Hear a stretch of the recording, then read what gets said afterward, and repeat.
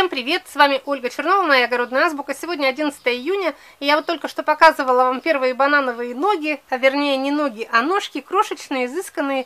И рядом с ними высажен у меня Казанова, высадила специально рядом, потому что у них одинаковые формы плоды, ну такие длинные сосульками.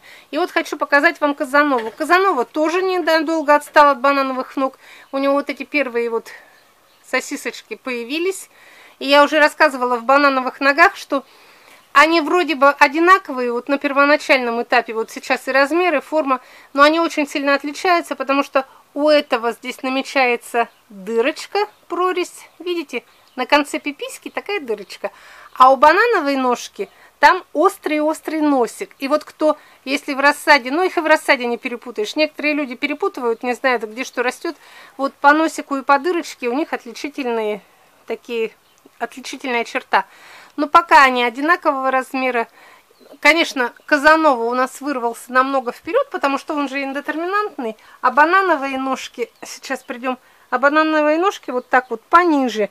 Но им разрешено иметь больше кистей, потому что я их буду вести в 4 ствола, так что ножек должно быть больше.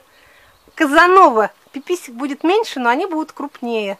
И вот я уже говорила в предыдущих, что Казанова ни с чем спутать нельзя. У него даже уже на этапе вот бутончиков, видите, вот такие длинные, прям такие вот прям длинные, как пальцы пианиста. Такой аристократ. Все, до свидания.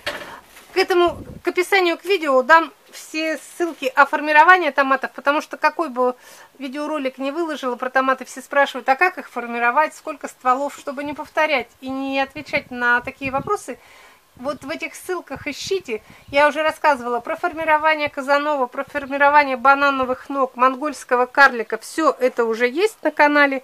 Смотрите, пожалуйста, уже снятые видеоролики.